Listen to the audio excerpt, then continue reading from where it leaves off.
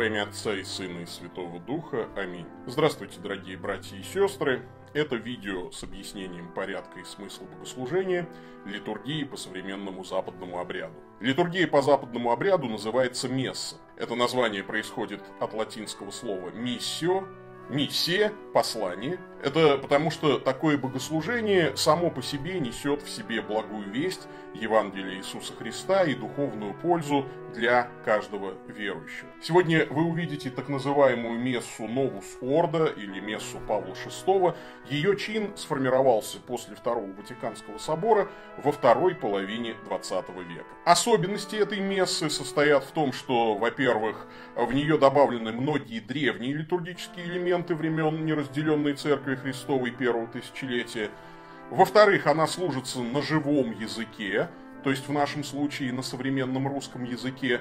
В-третьих, хотя это не обязательно, она служится в основном versus популем, то есть э, лицом к народу. Служить святую мессу принято как можно торжественнее и сложнее, и это связано с двумя факторами. Ну, во-первых, еще с древних времен, еще во времена Ветхого Завета, богослужение было величественным и сложным. Потому что служение земной скинии устроено по образцу скинии небесной. Пышная одежда священников, обилие литургических предметов имеет свой особый смысл. Все это является слабым отражением небесного богослужения. На небесах все очень красиво и торжественно. Часто, кстати, спрашивают, а есть ли в Библии указание на то, чтобы Христос одевался как-то по-особенному, ну вот как священники? Конечно, есть. Откровение 1 глава, 12-13 стихи. «Я обратился, чтобы увидеть, чей голос, говоривший со мною, и, обратившись, увидел семь золотых светильников, и посреди семи светильников подобного сыну человеческому, облеченного в падир и по персям опоясанного золотым поясом». То есть в торжественную прекрасную одежду первосвященника одет Христос. И дальше мы читаем. «И тотчас я был в духе, и вот престол стоял на небе, и на престоле был сидящий, и сей сидящий видом был подобен камню Яспису и Сардису, и радуга вокруг престола видом подобная смарагду. И вокруг престола 24 престола, а на престолах видел я сидевших 24 старца, которые облечены были в белые одежды и имели на головах своих золотые венцы и от престола исходили молнии и громы и глазы, и семь светильников огненных горели пред престолом, которые суть семь духов божьих, и перед престолом море стеклянное, подобное кристаллу. Ну разве это не красота? Поэтому земное богослужение надлежит делать как можно более красивым и торжественным, подражая небесам, насколько это возможно. Ну а во-вторых, Любовь всегда стремится к сложности, щедрости и даже к некоторой избыточности. Трудно представить себе по-настоящему любящую жену, которая скажет любимому мужу, у нас сегодня праздник, годовщина, и я хочу, чтобы наш романтический ужин мы сделали как можно проще. Вот, пожалуйста, черствый позавчерашний хлеб, вот вода из-под крана. Давай попроще отпразднуем. Да ну, конечно, нет. Любящая жена по праздничному поводу приготовит такой ужин, что муж только восхитится и ахнет. Или вряд ли любящий муж позовет жену на день ее рождения не в дорогой ресторан, ну а в какую-нибудь привокзальную забегаловку, где э, холодный кофе с прокисшим молоком, все пахнет хлоркой, где какой-то позеленевший месячной давности беляш, или бутерброд с заветрившимися рыбными консервами. Нет, конечно. Любовь стремится к избыточности, к широте. Любовь снимет с себя последнюю рубашку, продаст и сделает праздник для любимого. Поэтому торжественность мессы – это проповедь и нашей любви к Богу. И самое главное – это проповедь о широте и преизобильности Его любви к нам. У каждой литургии есть две кульминации. Проповедь Слова Божьего и Евхаристия. Бог обращается к нам со словом любви и дает приобщиться к его голговской жертве, вкусить тело и крови жертвенного агнца Божьего, закланного прежде создания мира. Греческое слово «литургия» означает «общее дело», поэтому на каждой мессе присутствует и священник, и народ. Как минимум один священник и как минимум один человек. Впрочем, допускается, что священник служит мессу и совсем без видимого народа. Потому что даже если народу пришло на мессу мало, не беда. Месса – это христоцентричное богослужение. В центре Христос. Пришли люди, не пришли люди – это их дело. Если кто-то пренебрег величайшей честью и не пришел на званный царский ужин – это его проблема. Но Христос здесь всегда. И самое главное, что вместе со Христом и во Христе здесь присутствует вся Вселенская Церковь.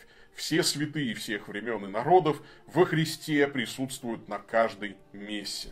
Как о новозаветном богослужении сказано в Писании. «Вы приступили к горе Сиону и к ограду Бога Живого, к небесному Иерусалиму и тьмам ангелов, и к торжествующему собору и церкви первенцев, написанных на небесах, и к судьи всех Богу, и к духам праведников, достигших совершенства, и к ходатую Нового Завета Иисусу, и к крови крапления, говорящей лучше, нежели Авелева». Месса – это выход из пространства и времени выход в вечность. У нашего прихода святого Михаила Архангела пока нет своего храма в Москве, поэтому в подвале жилого дома мы оборудовали ораторий святого Михаила Архангела. Ораторий – это такое освященное помещение, комната или иногда даже закуток в комнате, которая предназначена для молитв и совместного поклонения Богу от храма отличается тем, что ораторий это не отдельно стоящее здание, а именно комната или закуток, но именно посвященное Богу. У нас офисное помещение, но мы выделили а, кусочек этого помещения под поклонение Богу. Знакомство со святой мессы, конечно, должно начаться с знакомства с храмовым пространством. Ну, во-первых, храмом Божьим является весь сотворенный им мир – ведь Бог создал мир для того, чтобы его творение общалось с Творцом. Весь мир – место, созданное им, указывающее на его мудрость, совершенство, место, где мы с ним встречаемся, учимся его познавать, учимся общаться с ним, учимся от него. Творение отвечает Создателю любовью, участвует в неповторимой литургии, в общем деле прославления и благодарения – Хвалите Господа с небес, хвалите Его вышних, хвалите Его все ангелы Его, хвалите Его все воинства Его, хвалите Его солнце и луна, хвалите Его все звезды света, хвалите Его небеса небес и воды, которые превыше небес, да хвалит имя Господа, ибо Он повелел, и они сотворились. Далекуют дерева дубравные, да, птицы, звери, все дышащее да хвалит Господа. На разные лады восклицают псалмопевцы. Так вот, храм это своего рода модель мира в миниатюре. Смотрите, какая рифма. Мир, сотворенный Богу, это храм его. А храм – это модель мира. Это пространство, в котором творение встречается с Творцом, прославляет и хвалит его. Но храм – это не только образ мирового пространства. Храм – это образ истории. Идя по храму, мы повторяем тот путь, которым Бог ведет человека к единению с собой – и пространство храма становится метафорой священной истории, истории спасения. Как всегда, все начинается с дверей. Двери – граница, место перехода от профанного мирского пространства к пространству сакральному. На первый взгляд, дверь – простая вещь, но напоминает о том, что Христос говорил «Я есть дверь овцам». «Я есть дверь, кто войдет, мною тот спасется, и войдет, и выйдет, и пажить найдет». Вот оно, начало жизни, сам Иисус – мы входим в его жизнь через таинство крещения, оставляем за спиной ветхого человека, облекаемся в нового, переходим от смерти в жизнь, становимся мертвыми для греха и живыми для Бога во Христе Иисусе Господе нашим.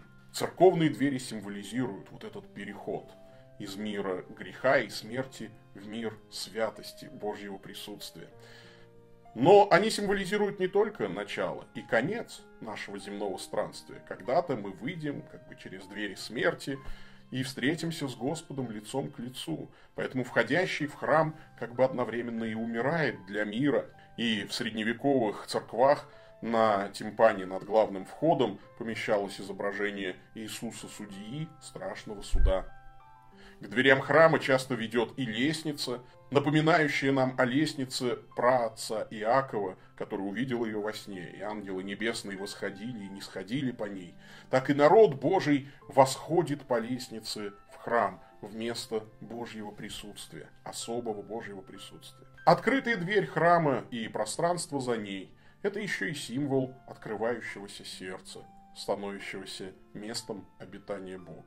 Но вот люди вошли в храм. Впереди находится сердце храма – алтарь.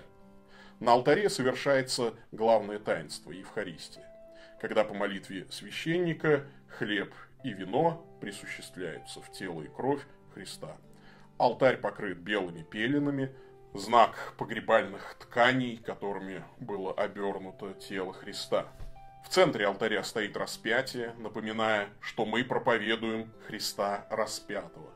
На алтаре горят свечи в память о светильниках, которые присутствовали в Сионской горнице и на каждом богослужении. Смотри, Деяние 20 глава 8 стих. На алтаре стоит огромная книга, она называется «Миссал», в ней записан чин богослужения.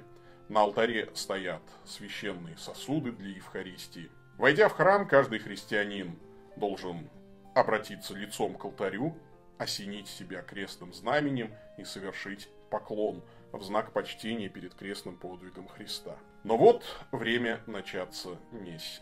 В 67-м псалме сказано «Видели шествие Твое, Боже, шествие Бога моего, царя моего во святыне». Месса начинается с входной процессии священников. Звучит колокол, призывающий народ к молитве. Начинается пение, которое помогает нам пережить, что мы единое тело. Мы говорим едиными устами.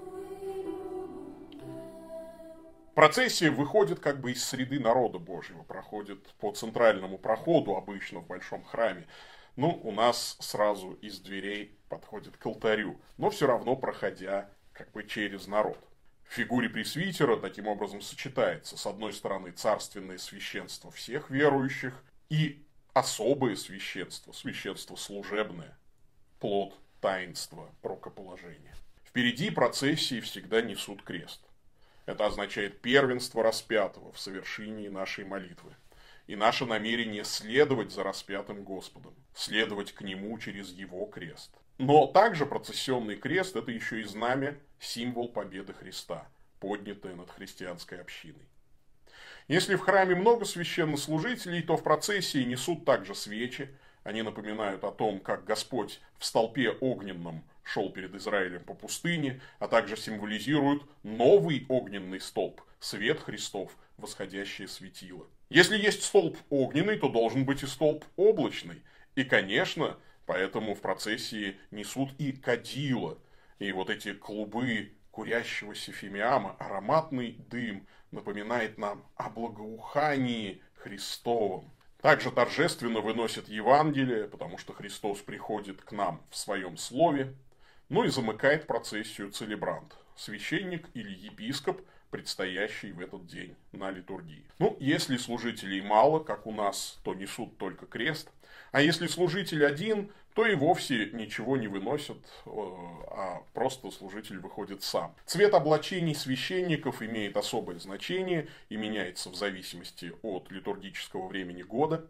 Белый цвет традиционно цвет чистоты, невинности, радости, триумфа. В белых одеяниях мы служим в самые радостные праздники. Красный цвет, цвет крови с древних времен церковь почитала мучеников, в дни поминовения также страстей Христовых, в дни памяти мучеников священники облачаются в красные одежды. Фиолетовый цвет означает покаяние, фиолетовое одеяние мы носим во время постов рождественского и великого. Зеленый цвет жизни и надежды, его используют в рядовое время. Вот сейчас вы видите мессу рядового времени, поэтому священники облачены в одеяние зеленого цвета. Встав напротив алтаря, священники совершают поклон, если на алтаре нет прежде освященных даров.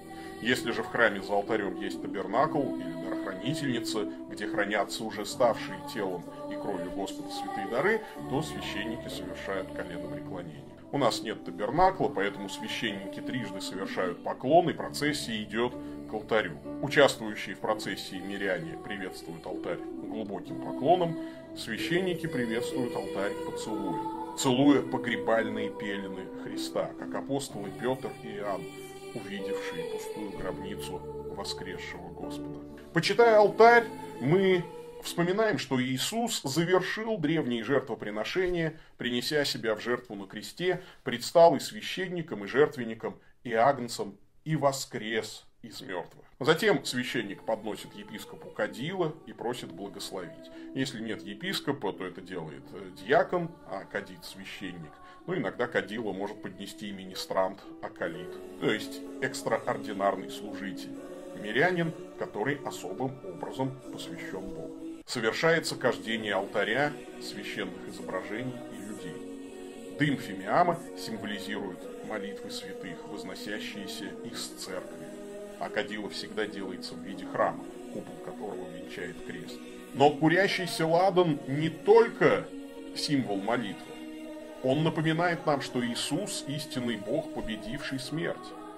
Дым кадила говорит, что смерть не замаскирована, не скрыта от наших глаз эфемерной дымовой завесой, но воистину побеждена. Кадила – символ победы и воскресения, когда мерзкие запахи удаляются, и повсюду в мире разливается приятнейший аромат Христовой победы. Ну и, наконец, благоухание ладана – это духи церкви, невесты Христовой, идущие к жениху Иисусу. Нарт и шафран, аир и корица со всякими благовонными деревами, мира и алой со всякими лучшими ароматами. Вот какие духи используют возлюбленные в песне песни. Когда заканчивается входное песнопение, священник и верные осеняют себя крестным знаменем, целебрант возглашает, что совершаем мы это во имя Отца и Сына и Святого Духа. Во имя Отца и Сына и Святого Духа. Аминь. Вот крестное знамение и во имя Отца и Сына и Святого Духа это самое краткое исповедание веры и самое древнее, видимое и слышимое всеми окружающими. На слова священника народ отвечает «Аминь». Затем священник, наконец, официально приветствует собрание верных. Благодать Господа нашего Иисуса Христа и любовь Бога Отца и общение Святого Духа да будет со всеми вами. И со И эти слова не только приветствие, этой формулой священник ознаменовывает реальность, которая осуществилась в момент собрания верных в храме. Господь, Святая Троица, действительно присутствует среди вас.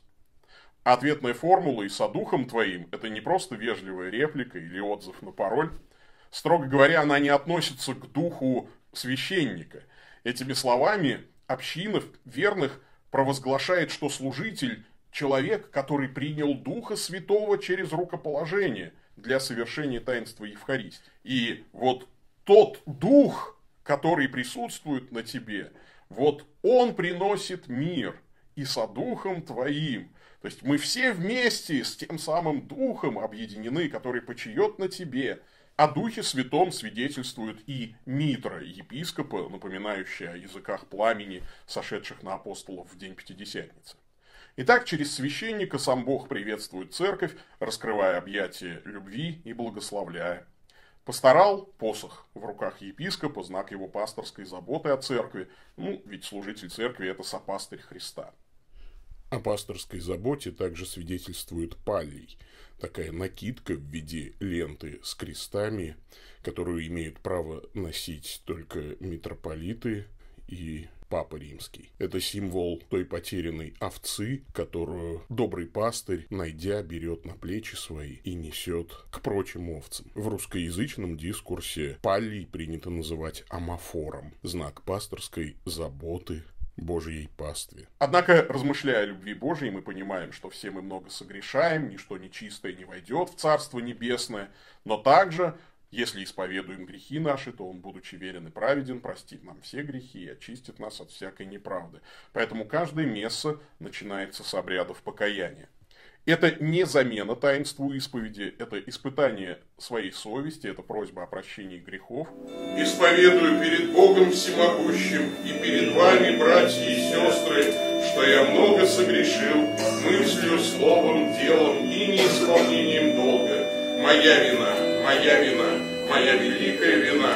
Поэтому прошу блаженную Преснодеву Марию, всех ангелов и святых, и вас, братья и сестры, молиться обо мне Господу Богу нашему.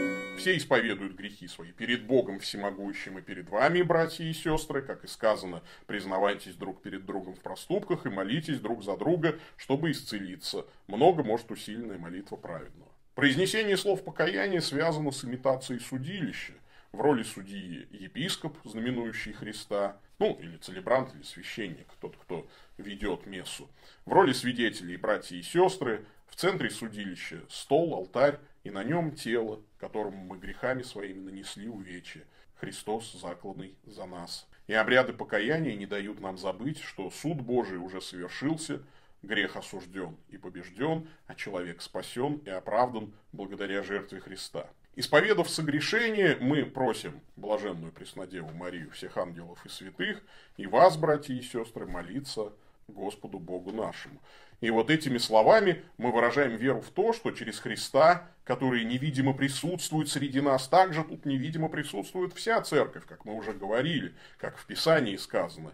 Здесь торжествующий собор, церковь первенцев, написанных на небесах, здесь судья всех Бог, здесь духи праведников, достигшие совершенства, здесь ходатай Нового Завета Иисус. И здесь кровь кропления, не символ крови, а кровь кропления, говорящая лучше, нежели Авелева. В праздничных мессах еще используется асперсия, окропление народа Божьего святой водой в память о таинстве крещения. После покаянных обрядов священник произносит молитву прошения. Да помилует нас всемогущий Бог, и, простив нам грехи наши, приведет нас к жизни вечной.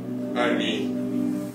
Ну и завершает обряды покаяния восклицание, по латыни аккламация, Кирия и Лейсон, Господи помилуй. Потом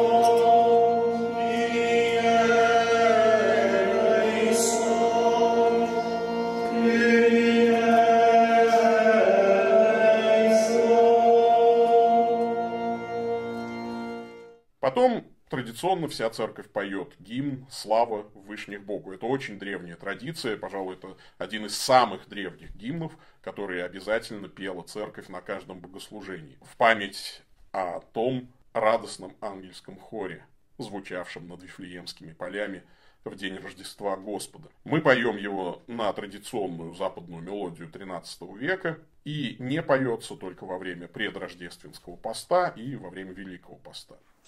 la via in excelsis Et in terra pax sanguinibus,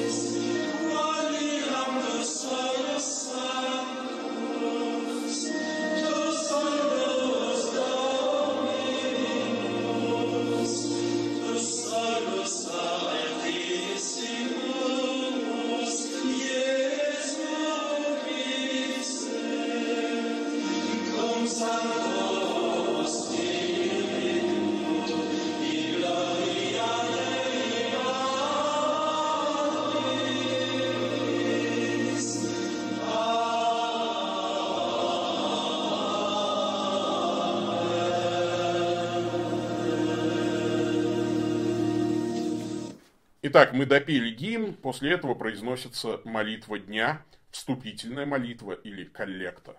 Помолимся. Всемогущий и милосердный Боже, по милости Твоей отдали от нас всякие враждебные силы, чтобы душой и телом, избавленные от опасностей, мы в свободе Духа служили Тебе, через Господа нашего Иисуса Христа, Твоего Сына, который с Тобой живет и царствует в единстве Святого Духа, Месса вообще состоит из неизменяемых частей, называемых ординарий, и изменяемых проприй. Вступительная молитва относится к проприю. Она каждый день новая. Коллекта всегда обращена к Богу Отцу, возносится через Бога Сына в Боге Святом Духе. Начинается с воззвания анаклезы к Отцу. Ну, далее следует прошение всей общины, прошение о святости в основном. Потом следует исповедание того, кто делает возможной нашу молитву, кто является истинным священником, совершающим литургию. Не столько целебрант, сколько сам Христос, через Христа Господа нашего. Через Господа нашего Иисуса Христа, Твоего Сына, который с Тобою живет и царствует, в единстве Святого Духа, Бог во веки веков. Аминь. Слова коллекты целебрант произносит, простирая руки. В этом жесте, делающем человека открытым и беззащитным, община узнает другого священника, распростершего свои руки на кресте.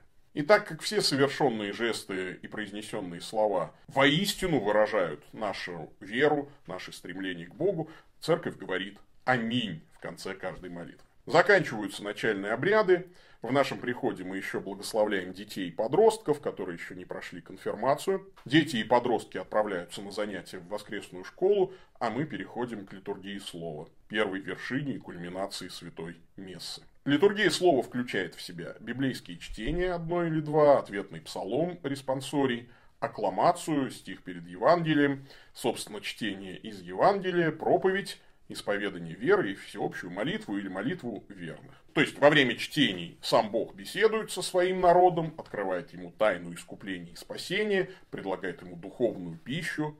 Христос посредством слова присутствует среди верных. Народ усваивает это слово – песнопениями, присоединяется исповеданием веры, ну а потом, подкрепленные духовной пищей проповеди, верные во всеобщей молитве высказывают прошение о нуждах всей церкви и о спасении всего мира. В литургии Слова Христос также готовит нас к Евхаристии. Слово Божие воплощается в Евхаристии. Слово стало плотью.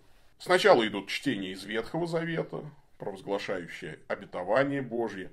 Потом идет псалом, после каждого четверостишия церковь поет или произносит антифон, молитвенный возглас, едиными устами участвуя в чтении Слова Божьего. Потом идет чтение из апостола, из посланий апостолов.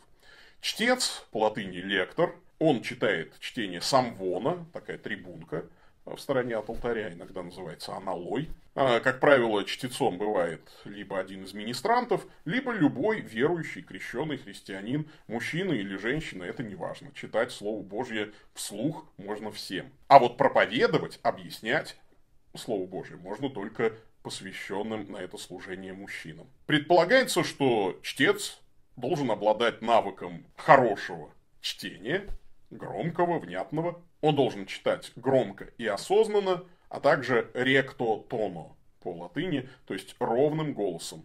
Не нужно пытаться сделать из библейского фрагмента чтение с выражением театр одного актера.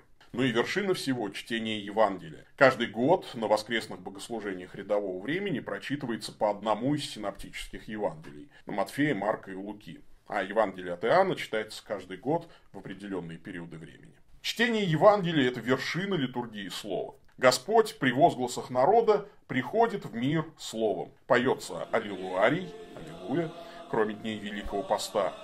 Совершается окаждение Евангелия, символ горячих молитв человечества о том, чтобы Слово Христа пришло в мир и осветило нас. Торжественно выносится светильник перед народом, он символизирует свет Христов, пришедший во тьму этого мира. Епископ выносит Евангелие, высоко подняв его над головой, знаменуя, что Слово Божье превыше всякого ума.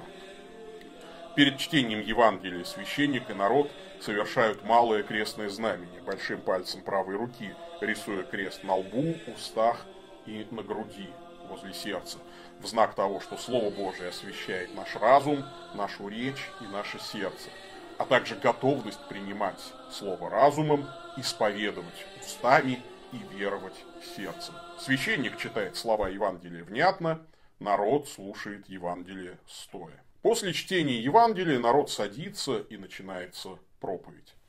Проповедь может читаться по чину лекцию селекта, то есть каждое воскресенье объясняется именно тот текст из Евангелия, который был только что прочитан. Но мы предпочитаем проповедовать по чину лекцию континуа, то есть непрерывное чтение, когда проповеди идут как бы циклом. Берется книга Священного Писания и объясняется последовательно, абзац за абзацем. То есть каждое воскресенье отрывок священного писания для проповеди начинается с того места, где закончился предыдущий отрывок. Ну, так делали многие великие отцы церкви, в частности, святой Иоанн Златоуст. Он практиковал лекцию континуа, проповедуя по порядку по книгам Библии. Проповедь – это важнейший инструмент Божьего воздействия на людей. 1 Коринфянам 1.21. «Ибо когда мир своей мудростью не познал Бога в премудрости Божьей, то благоугодно было Богу юродством проповеди спасти верующих». Римлянам 10.17. «Итак, вера от слышания, а слышание от Слова Божьего». Поэтому к проповеди нужно тщательно готовиться.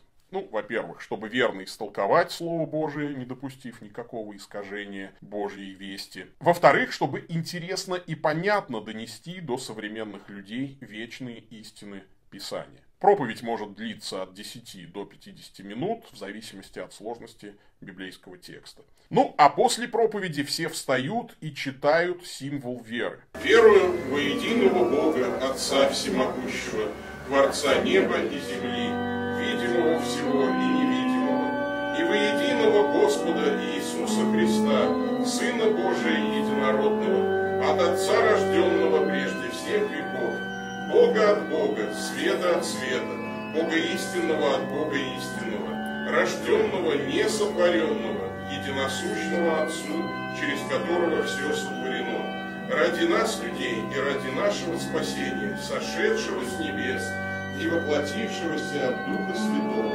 и Марии Девы и старшего человека, распятого за нас при Понтии Пилате, страдавшего и погребенного, воскресшего в третий день по Писанию, вошедшего на небеса и сидящего одесную Отца, вновь грядущего со славою судить живых и мертвых, и царство его не будет конца, и в Духа Святого, Господа Животворящего, от Отца исходящего, которому вместе с Отцом и Сыном подобает поклонение и слава, который вещал через пророков, и в единую святую вселенскую и апостольскую церковь, исповедуя единое крещение в отпущении грехов, ожидая воскресения мертвых В Ветхом Завете было заповедано постоянно повторять то, во что мы верим. И в Новом Завете говорится о том, что мы не только сердцем должны веровать, но и устами исповедовать Иисуса Господа, причем едиными устами. Символ веры – это кратко сформулированные отцами церкви догматы христианства. В это мы верим. За эти верования мы можем отдать свои жизни. Ну и когда нас спрашивают, а во что вы верите? Как рассказать человеку, далекому от Бога, о сущности христианской веры? Символ веры поможет. Поэтому каждый христианин должен знать некий цареградский символ веры наизусть, чтобы благовествовать людям, далеким от Бога и Церкви. Далее следует молитва верных. Это изменяемая часть мессы. Каждый день молимся по-новому, но структура этой молитвы остается неизменной. Молитва верных состоит из введения, читаемого священником, потом серия молитвенных прошений, которые может произносить диакон, чтец или министрант, или сам священник, ну, на которые народ отвечает молитвенными возглашениями. Ну и в конце священник молится снова о записках поданных за здравие и об упокоении, о нуждах. В общем, в молитве верных мы молимся о всем том, о чем нам заповедно молиться. О властях и всех начальствующих, о других церквах, о служителях, о народе Божьем и так далее. Поэтому апостол Павел вот не врет, когда говорит, что я каждый день молюсь о вас.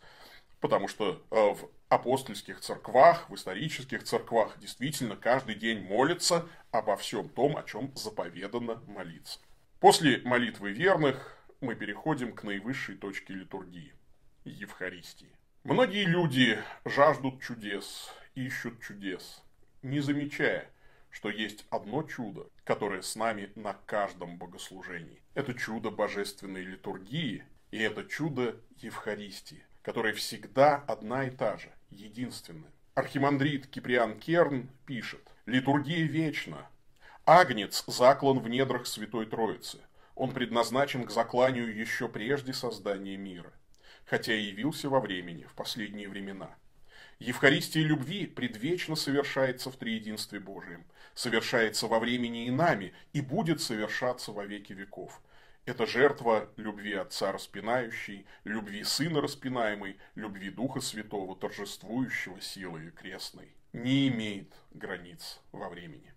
Очень важно понимать, что в святой мессе чудо Евхаристии первично, ничем не обусловлено.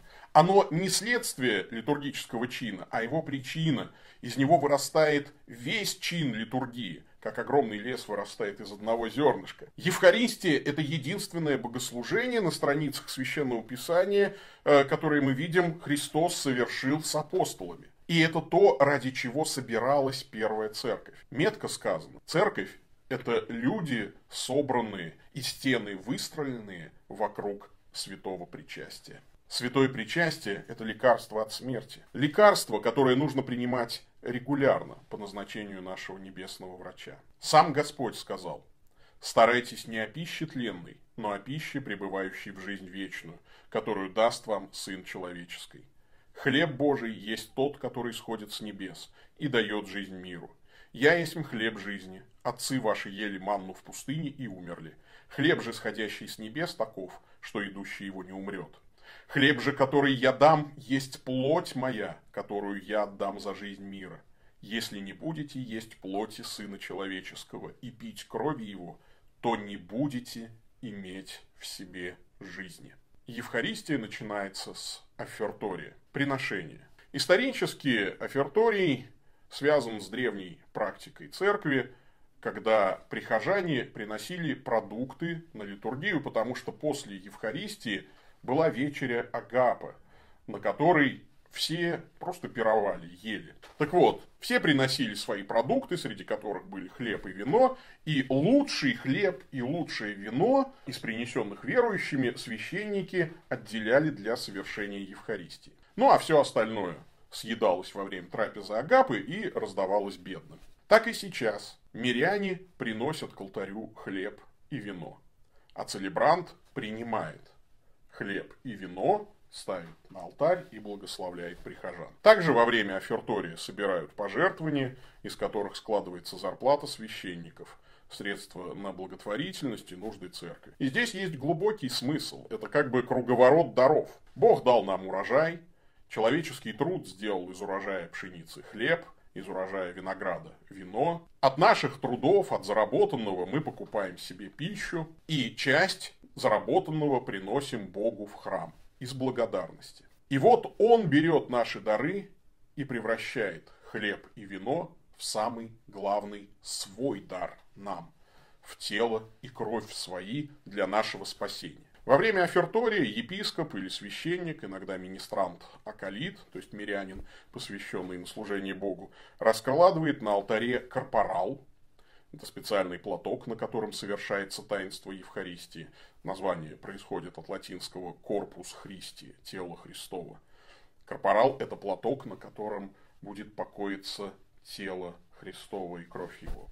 Служитель наливает в чашу вино, которое станет кровью Христовой, перекладывает в специальный сосуд циборий и в патену коммуниканты, маленькие круглые хлебцы, обладки, которые станут частицами тела Христова, и кладет большую круглую хостию на патену.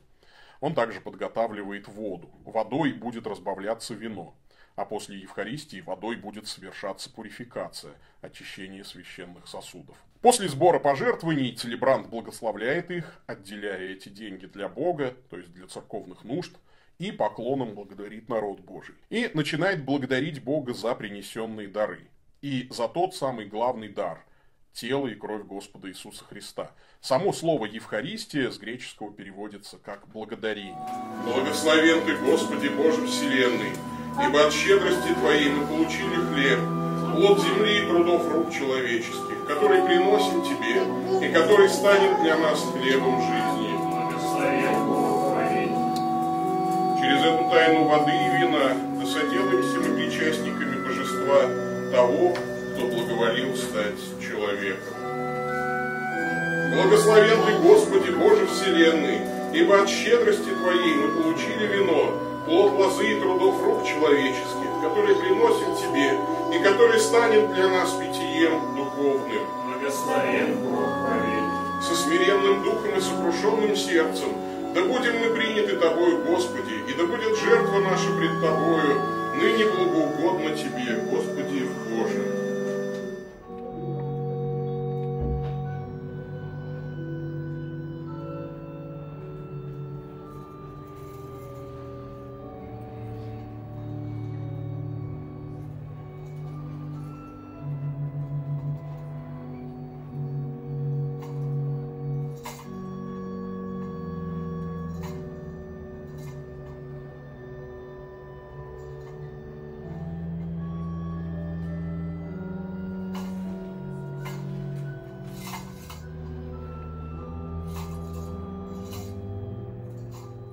Священник торжественно омывает руки, чтобы чистыми руками прикасаться к святым дарам, и также просит, чтобы Бог очистил его от грехов, чтобы достойно совершить таинство. Омой меня, Господи, от беззакония моего и от греха моего очисти меня.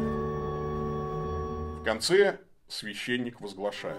Молитесь, братья и сестры, чтобы моя и ваша жертва была угодна Богу Отцу Всемогущему. Что народ отвечает, вставая.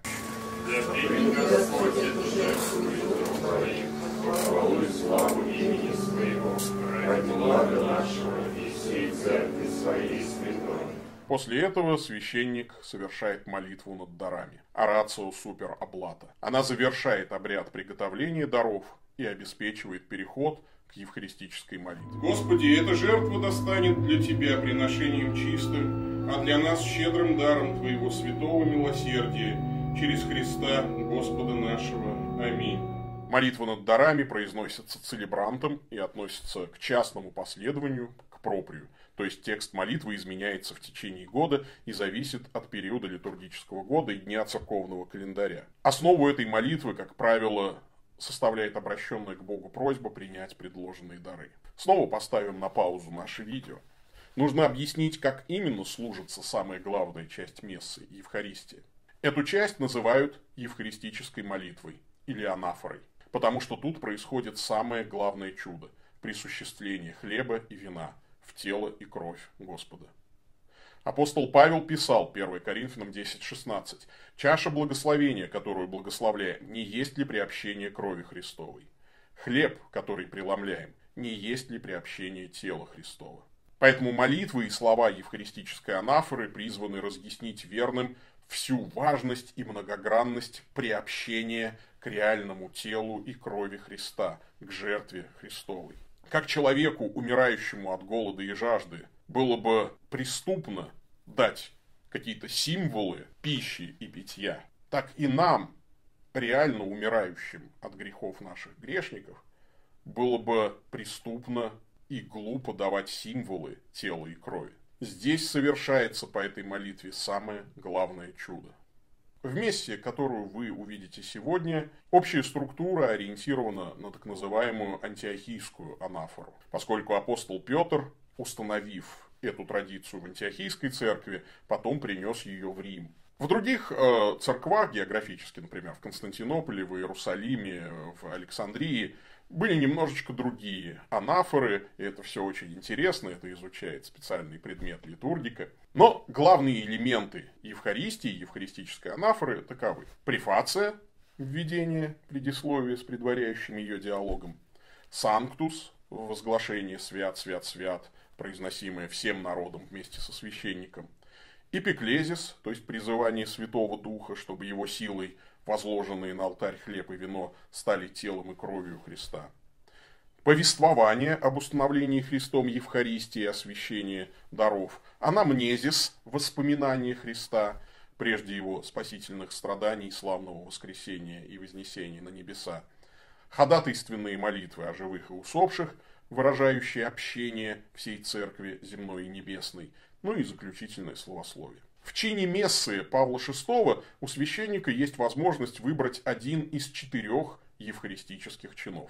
Каждый из этих канонов обладает как бы собственным характером в том, что касается стиля, тематической направленности и акцентирования отдельных аспектов празднуемых в Евхаристии божественных тайн. Давайте их кратко перечислим. Первая евхаристическая молитва также называется римским каноном. Долгое время она в римском обряде была единственной. Собственной префации она не имеет, и в зависимости от обстоятельств используется одна из почти ста предложенных в Миссале префаций. Текст римского канона можно назвать великой ходатайственной молитвой – базирующийся на теме жертвы и принесения даров. А с этим связана одна из самых главных пасторских трудностей первой евхаристической молитвы. Она очень длинная. От народа требуется полное сосредоточение на том, чтобы все эти длинные молитвы, хоть и на родном языке, но к ним присоединиться. Это очень длинный празднично-велеречивый чин – мы его используем только по большим праздникам. Вторая евхаристическая молитва восходит к тексту канона святого Ипполита Римского. И учитывая, что это произведение датируется 215-220 годом, эту евхаристическую молитву по праву считают самой древней. Она же самая короткая, поэтому ее любят использовать в церквах. Тематическая особенность второй евхаристической молитвы – это акцент на том, что Евхаристия, будучи вечерей Господней, в то же время является таинством Святого Духа и таинством единства тела Христова Церкви. Третья евхаристическая молитва. Она построена в строгом соответствии со структурой антиохийской анафоры, освещая более доступным и лаконичным языком присущую римскому канону тему Евхаристии как жертвы. И характерная тематическая черта третьей евхаристической молитвы – это экклезиальность. Бог собирает вокруг себя народ для священнодействия, которое состоит в принесении жертвы хвалы, гимнов благодарения, возносящихся из глубины сердец, верных, собранных воедино. Кроме этого, присутствует опять же тема единства церкви. Четвертая евхаристическая молитва ориентирована на анафору святого Василия Великого. Она имеет свою постоянную префацию, которая составляет с ней единое целое, и поэтому не может заменяться другими префациями. Тематически четвертая евхаристическая молитва характеризуется как анафора истории спасения. В ней с большей, чем в других канонах, подробностью прославляются спасительные дела Божьи от сотворения мира через заключение завета и его обновление навеки во Христе до эсхатологической надежды на спасение и восстановление всего творения. И молитвы там о всем мире, о проблемах и нуждах всех людей. В нашем сегодняшнем видео богослужения используется вторая евхаристическая молитва. Впрочем, различия между этими четырьмя анафорами касаются только слов, объяснений и тематических акцентов, а общая структура не изменяется. Итак, начинается все с префации, предисловием которой служит раздел «Сурсум корда», буквально по латыни «вознесем сердца». Диалог – одна из самых древних частей христианской литургии, восходящая э, ко второму еще веку уж так точно задокументированы. Поэтому сурсум корда есть во всех евхаристических обрядах, во всех евхаристических канонах, западных и восточных. И звучит она так. Господь с вами. И со духом твоим. Вознесем сердца. Возносим ко Господу. Благодарим Господа Бога нашего. Достойно это и правильно. Дальше начинается, собственно, префация, вступление благодарность Богу за его благодеяние и словословие ему. Воистину, достойно и праведно, должно и спасительно нам всегда и везде благодарить Тебя, Господи, Отче Святой, всемогущий, вечный Боже, ибо Ты так милосердно возлюбил мир, что послал нам Искупителя, который по Твоей воле стал во всем, кроме греха, подобен нам, чтобы Ты мог возлюбить в нас все, что Ты возлюбил в Своем Сыне, и мы по своему непослушанию согрешившие и впавшие в немилость, через послушание Христа вновь обрели Твои дары. Префация, как правило, обращена к Богу Отцу. Префация каждый день новая, в первых трех евхаристических молитвах, и только в четвертой она неизменна. В конце, как правило, следует упоминание об ангельских воинствах, славословящих Бога, и это позволяет плавно перейти к гимну «Санктус», первой строкой которого служит песня Серафимов из книги Исаи. Поэтому и мы, Господи, со всеми ангелами и святыми Тебя исповедуем, в радости взываем.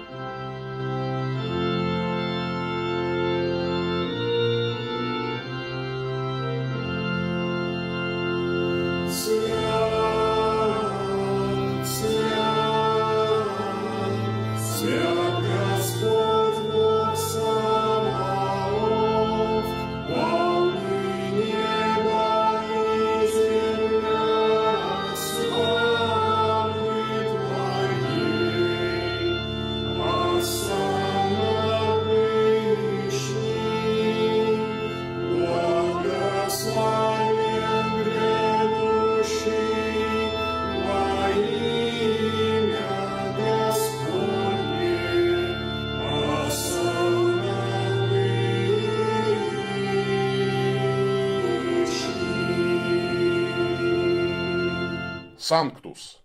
Свят, свят, свят. Песнь, прославляющая Святую Троицу.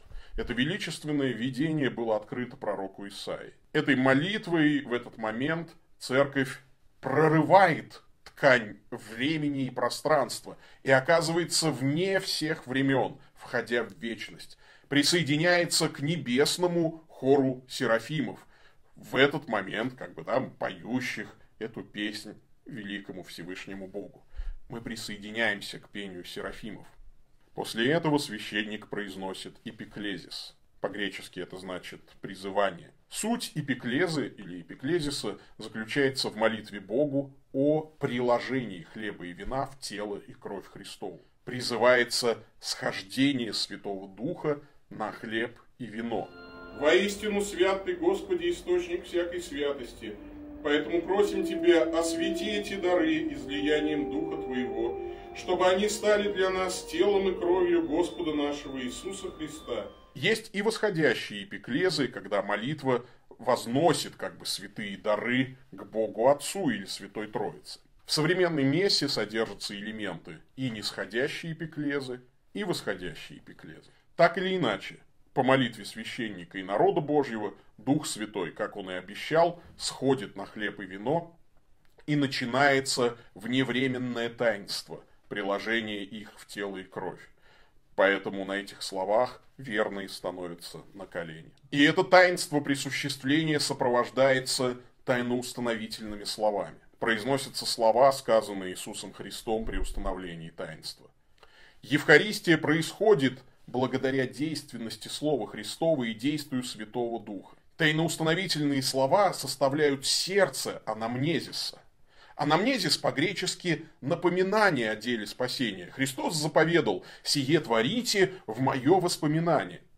Но в библейском значении слово «воспоминание» означает не просто воспоминание о событиях прошлого. В литургическом праздновании этих событий они некоторым образом обретают реальное присутствие в настоящем времени. Так, например, заповедь «помнить нищих» не означает, что мы просто периодически должны вспоминать об их существовании. Помнить нищих значит реально о них заботиться. Когда мы говорим, что творим это воспоминание, это не означает, что это просто какие-то символы. Воспоминание о жертве Христовой – это не просто освежить в памяти события прошлого, это именно приобщиться к этой жертве. Таким образом, Евхаристия есть жертва потому что она вновь представляет, делает присутствующей жертву креста, является ее воспоминанием и приносит ее плоды. Анамнезис и установительные слова образуют собой неразрывное целое. Но и кроме установительных слов Христа, анамнезис включает в себя воспоминания обо всех этапах истории спасения, начиная от сотворения мира и заканчивая крестной смертью и воскресением Христа. Подчеркиваем, в это время все присутствующие на месте оказываются вне времени и пространства. Оказываются там, где Христос, как Агнец Божий, заклан прежде создания мира. Во времени это совершилось на Голгофе в 33 году первого века. И мы все одновременно оказываемся все на той же Голгофе. Обратите также внимание, что во время евхаристической молитвы епископ снимает пелиолус, вот эту фиолетовую шапочку, символизирующую его епископскую власть. Теперь уже за алтарем стоит не только и не столько он, епископ, имеющий имя, сколько Христос. И через него, через епископа, Христос действует во всех верующих. Поэтому, когда после Евхаристии верующие целуют руку священнику, он целует руку Христа, дающего ему свое тело и кровь, как жертву за грехи и во спасение. Итак, целебрант берет хостию, хлеб и возносит перед Господом. Он, добровольно предавая себя на страдания, взял хлеб, и тебе, вознося благодарение, преломил и подал его ученикам своим, говоря, «Примите и вкусите от него все, ибо это есть тело мое, которое за вас будет предано».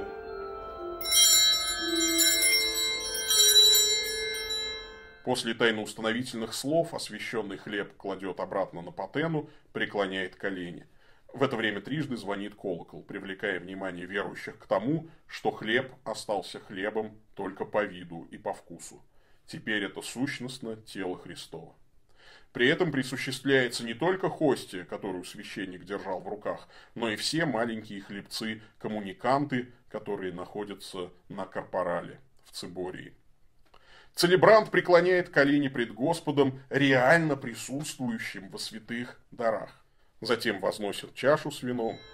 Подобным образом после вечери, взяв чашу и вновь вознося тебе благодарение, он подал ее ученикам своим, говоря, «Примите и пейте из нее все, ибо это есть чаша крови моей, нового и вечного завета, которая за вас и за многих прольется во отпущение грехов, это совершайте в память обо мне». После установительных слов чаша ставится на корпорал, и теперь в чаше вино только по акциденции, то есть только по нашим ощущениям. А по сущности это истинная кровь Христова. Целебрант снова преклоняет колени перед Господом. Снова звучит колокол, особо акцентируя внимание верных, что сейчас происходит присуществление. После этого целебрант прославляет Бога за тело Христово, принесенное в жертву, и кровь, пролитую на кресте за нас, и за то, что мы теперь приобщаемся к той единократно принесенной Голговской жертве. Велика тайна веры. Смерть Твою возвещаем, Господи, и воскресение Твое исповедуем, ожидая пришествия Твоего.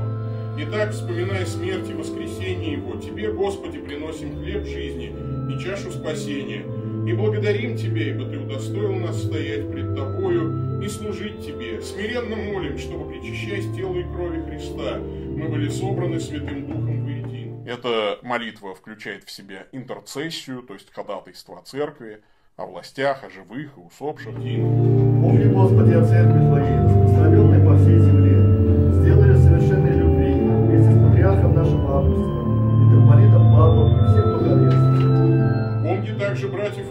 Сестер наших, усопших в надежде воскресения, и всех почивших в Твоем милосердии, и прими их в свет лица Твоего. Всех нас помилуй, удостои нас участия в вечной жизни, вместе с Пресвятой Богородицей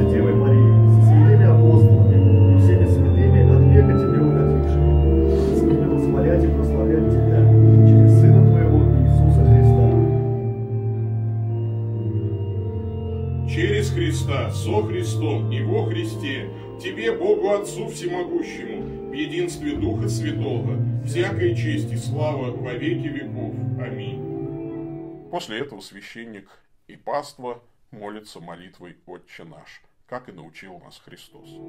Спасительными заповедями вдохновленные, божественными наставлениями наученные, дерзаем взывать.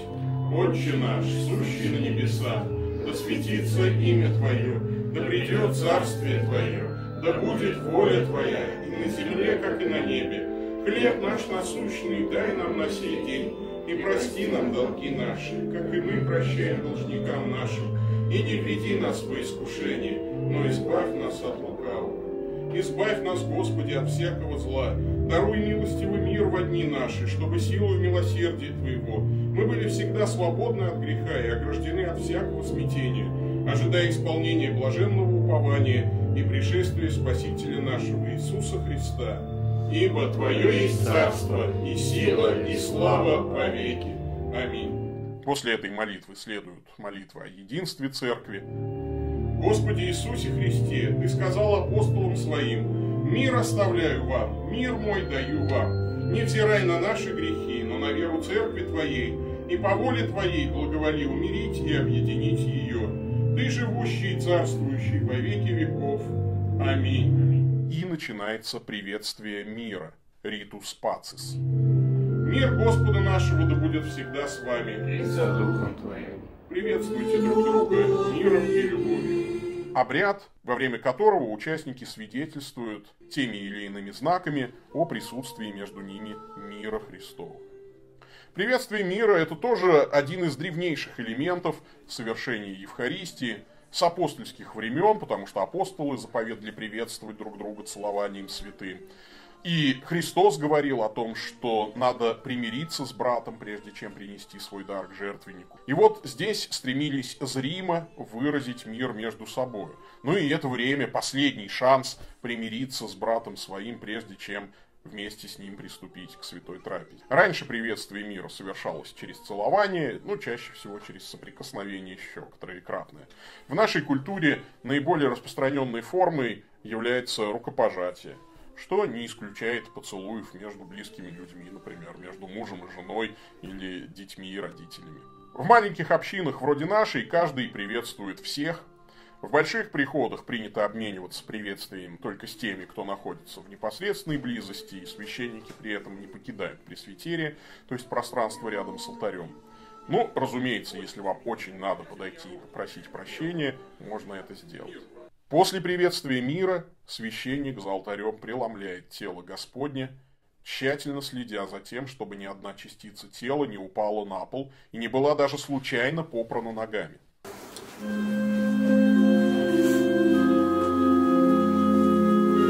Тело и кровь Господа нашего Иисуса Христа, соединенные в этой чаше, да помогут нам, принимающим их, достичь жизни вечной.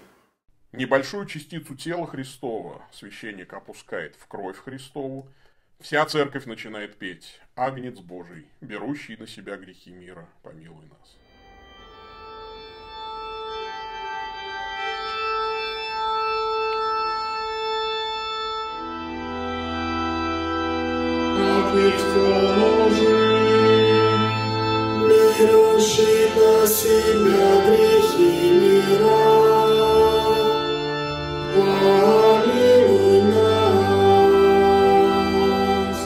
Время священники читают тайную молитву, снова прося Бога очистить их и позволить достойно приобщиться к телу и крови Господним. Священники совершают коленопреклонение, и когда замолкает последняя просьба песнопения, Агнец Божий, берущий на себя грехи мира, даруй нам мир. Священник возносит чашу с кровью и частицу тела Господня и провозглашает.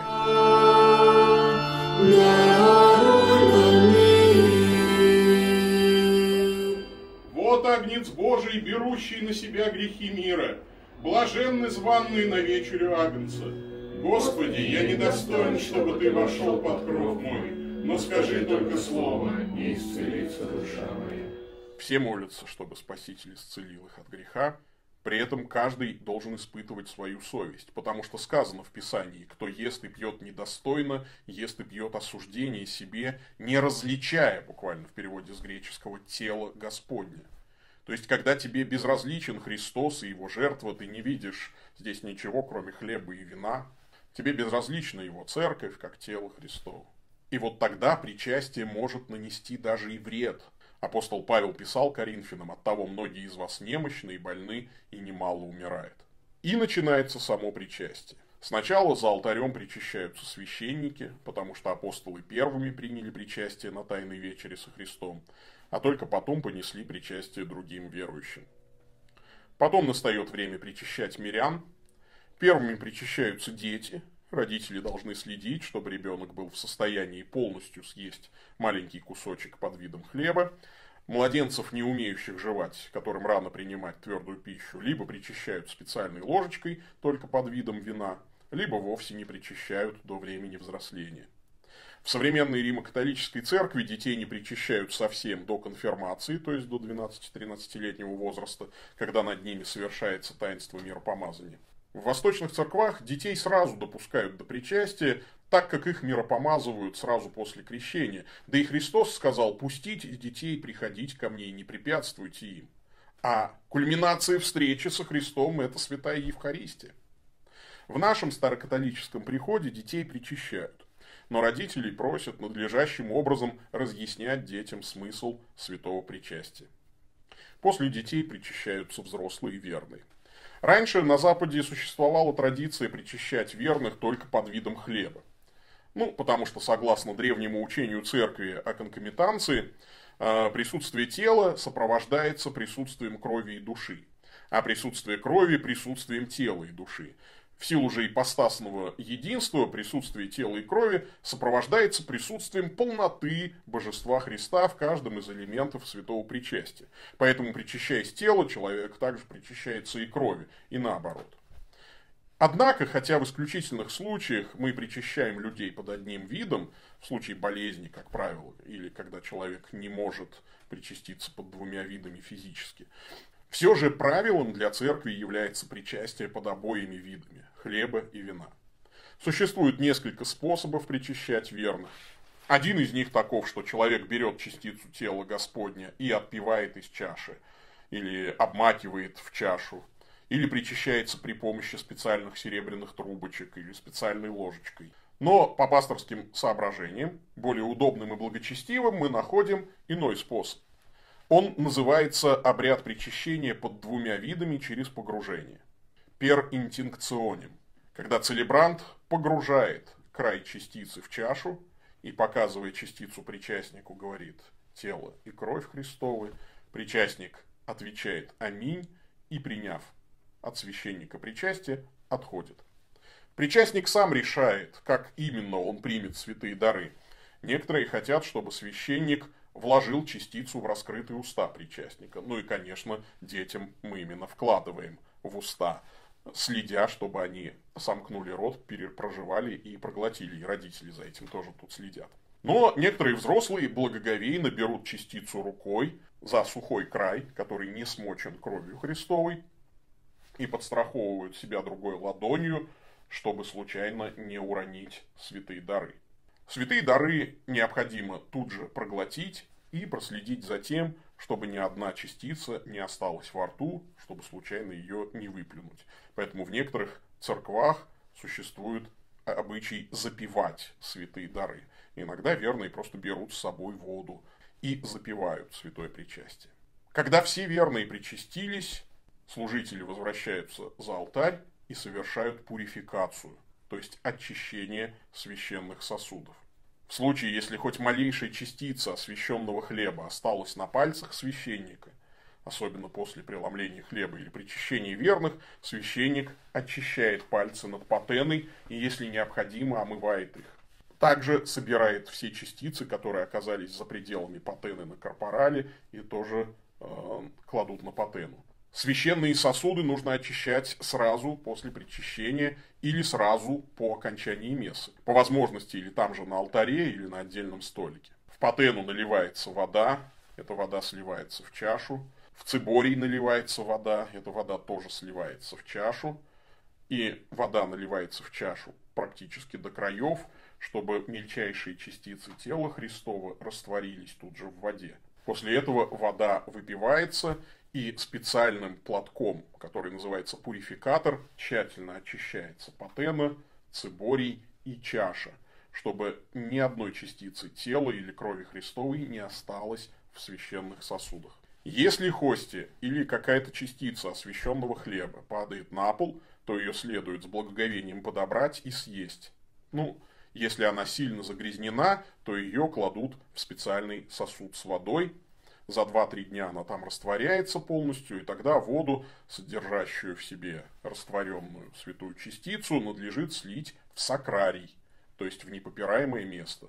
В храме есть всегда сакрарий или близ него. Это место для захоронения частиц и остатков священных предметов и веществ.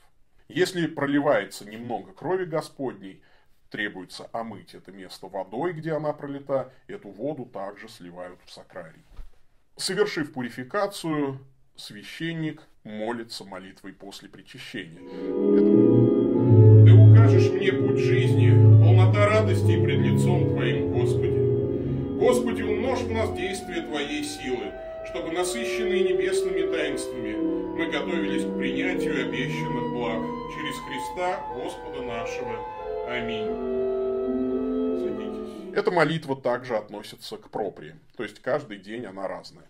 Но в общем в ней священник благодарит Бога за крестную жертву Христа и снова просит, чтобы это таинство принесло каждому члену церкви духовную пользу и не было в осуждении. Ну что же, мы побывали на небе и на земле, на Голгофе и в вечности. Господь учил нас своим словом, исцелял нас своей благодатью, обильно угощал нас за своей трапезой.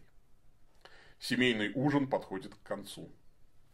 В это время делаются приходские объявления, братья и сестры делятся свидетельствами о том, как Господь действует в их повседневной жизни, какие совершает чудеса, какие преподает уроки – как писал апостол Павел, 1 Коринфянам 14.26. Итак, что же, братья, когда вы сходитесь, и у каждого из вас есть псалом, есть поучение, есть язык, есть откровение, есть истолкование, все сие да будет к назиданию.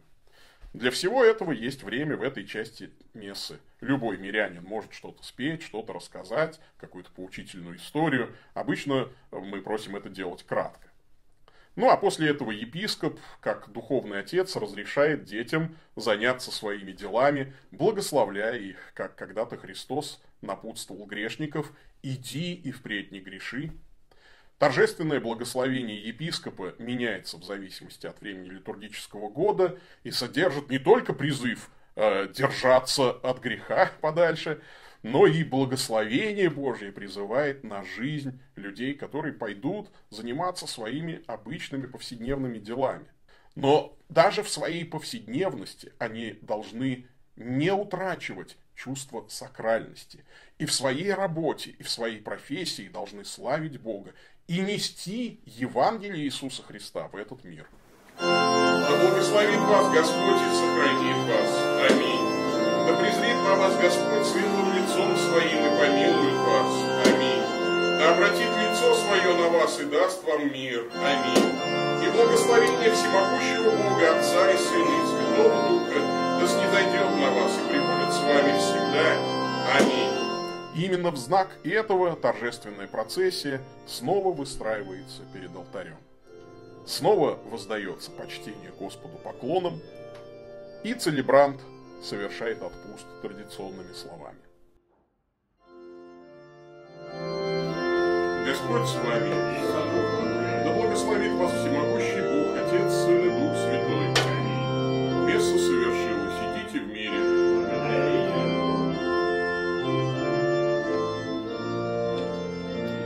Потом крест, Евангелие, свечи торжественно выносят из храма не потому, что Бог покидает храм, а потому что теперь весть о кресте, свет Евангелия вместе с нами отправится в мир, чтобы благовествовать людям. Месса заканчивается, но после этого у нас обычно есть трапеза, агапы, где мы общаемся уже так вот свободно друг с другом. Потом потихоньку каждый расходится по своим делам. Дорогие братья и сестры, у вас наверняка остались вопросы. Лучше всего, конечно, побеседовать лично, поэтому я всегда буду рад видеть вас на нашей мессе. Ну или пишите мне по адресу bishop.sobaka.stcross.ru Его высокопреосвященству, митрополиту Павлу. Это я. Ответы я даю в прямом эфире по понедельникам на этом YouTube-канале. Подписывайтесь на него. Можете лайком или дизлайком выразить свое одобрение или возмущение, соответственно. Ну а кто не успеет послушать ответ в прямом эфире, услышит это в записи. Каждый понедельник здесь запись этой трансляции остается. Ну и также можно это все услышать в подкастах. Адреса подкастов в описании. Ну и вообще вся важная информация в описании, поэтому не стесняйтесь внимательно его прочитать. Благодарю вас за внимание. Надеюсь, что это видео было для вас полезным. Господь с вами. Да благословит вас всемогущий Бог, Отец, Сын и Дух Святой. Идите в мире. Пока-пока.